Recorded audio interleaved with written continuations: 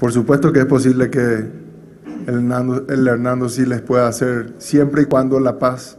se proponga como eh, ciudad a anfitriona de sede única. En la primera elección se había propuesto de que el Consejo tome la decisión en qué, eh, en qué ciudad y en qué país se iba a jugar por primera vez tanto la final única de la Libertadores como de la Sudamericana, pero en, en adelante se quiere proponer y una de las ideas propuestas es de que se haga por licitación, entonces que todas las ciudades interesadas puedan participar abiertamente de esta licitación y en consecuencia, una vez terminada la licitación, sabremos eh, quiénes serán los próximos anfitriones de la final. Y con respecto a el, la primera pregunta que te voy a contestar la mitad, es